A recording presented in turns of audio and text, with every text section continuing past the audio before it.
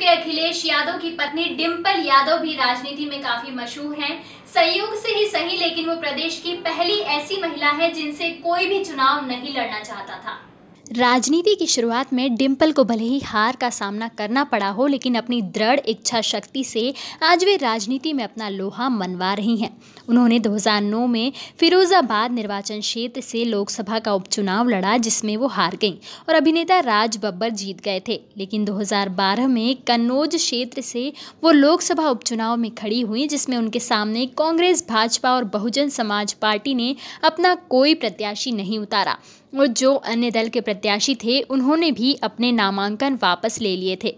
राजनीति में अपनी जिम्मेदारियों के साथ डिम्पल अपने पति अखिलेश का भी हाथ बटाती हैं। वे अखिलेश का समय समय पर सलाह देने के साथ ही उनके सोशल अकाउंट को भी स्वयं देखती हैं। वे एकमात्र महिला सांसद हैं जिनके पति मुख्यमंत्री थे और जिनके ससुर भी उसी सदन के सदस्य हैं। डिम्पल का जन्म 1978 में पुणे के army colonel S C Rawat के यहाँ हुआ। उन्होंने अपनी शुरुआती पढ़ाई पुणे से की है। डिम्पल ने लखनऊ विश्वविद्यालय से स्नातक शिक्षा की, जिस दौरान उनकी मुलाकात अखिलेश से हुई। विवाह के बाद वे ससुर मुलायम सिंह यादव की पार्टी से जुड़ गईं। डिम्पल के तीन बच्चे हैं, जिनमें दो पुत्री और एक पुत्र है। अदिति, टीना और अर्जुन। टीना और अर्जुन जुड़वा हैं। अखिलेश यादव के काम में व्यस्त होने के कारण डिम्पल यादव बच्चों के लिए समय निकाल लेती हैं। Subscribe our channel and press the bell icon for more updates.